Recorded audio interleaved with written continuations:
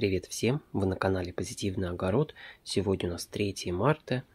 И сделаем небольшой такой обзор рассады, что в общем у нас растет на наших подоконниках.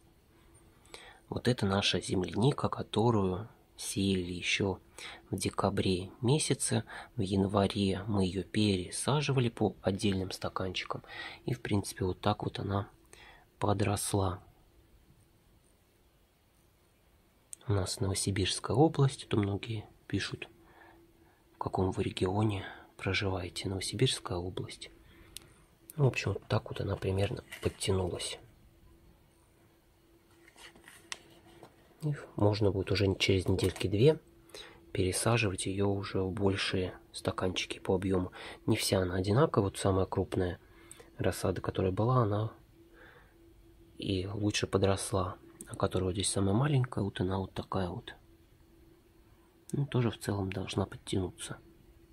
Сейчас солнышко стало гораздо больше, и расти она значительно будет быстрее. Здесь растут эустомы, которые с осени мы пересадили такие большие пятилитровые обрезанные бутылки.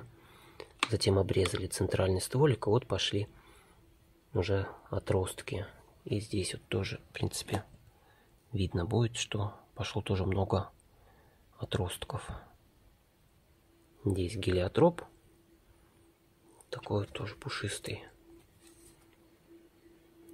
А здесь у нас та рассада, которую мы а, землянику рассаживали по отдельным стаканчикам прошлые выходные. Ну, вот тоже можно заметить уже новый листочек полез. Днем накрыта она пищевой пленкой, так как на окошке все равно довольно-таки жарко. Ну, достаточно хорошо она себя чувствует и, в принципе, приживается и растет. Вот по опыту выращивания вот этой вот будем выращивать и ту, которую позже пересаживали. Лук-порей еще не взошел, поэтому он продолжает быть накрытым пленкой и стоять на этом теплом подоконнике. Он дольше всходит всегда. Вот так вот зашел корневой сельдерей. Присыпали его немножко вот так вот вермикулитом. И затем надо будет присыпать еще землей. А затем уже будем рассаживать его по отдельным стаканчикам. Но столько, сколько нужно, столько рассадим. На этом окошке тоже большинство рассады это земляника накрыта опять же таки пищевой пленкой. Вот это мини-тепличка. Зашло много сорняка, надо будет прополоть. Но вот она тоже начинает так активненько подрастать. Здесь тоже земляника стаканчиком рассажена. Здесь растут остатки гелиотропа, тот, который не рассадили такой вот здесь гелиотроп. А тот, который рассадили, вот такой вот он. Уже подтянулся, листочков уже довольно-таки много. И, в принципе, его тоже можно будет затем уже рассаживать по отдельным стаканчикам. Здесь, наверное, около 42 штук вот в этой коробке. Здесь вот такая небольшая баночка с дельфиниумом.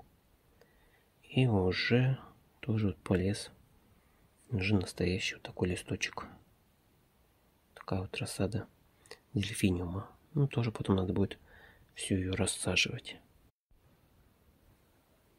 В общем, здесь гелиотроп, дельфиниум и в основном земляника. Стоит всевозможных сортов, гибридов. Рассажено где-то по одному в большинстве. Ну, где-то и по несколько посажено. Здесь тоже по одной Четыре штуки рассажены. И накрыто все вот этой пищевой пленкой. Пока еще пускай приживается. И вот так вот все стоит под подсветкой. Здесь, чтобы больше света доставалась фольга. И вот так вот все потихоньку растет. Тут у нас котика наша загорает спит.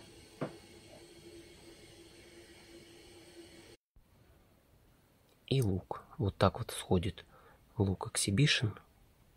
Немножко так туговато он как-то прорастает. А вот так вот зашел лук Глоба.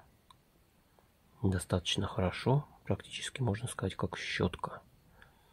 И на заднем плане лук Красный Барон. Тоже, в принципе, очень даже хорошо сходит. Лук, в принципе, как только вот он пророс, сразу его поставили на западный подоконник и убрали всю вот эту вот пленку, которая сверху укрывали наши вот эти емкости. И все. Как только поверхность немножко подсыхает сверху, поливаем водой. Принципе, особых проблем с луком нет. Когда семена хорошие, лук очень хорошо всходит. Ну вот такой вот получился обзор.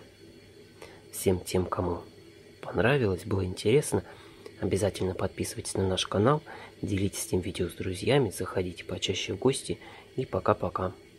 До новых встреч. Всем самого-самого наилучшего.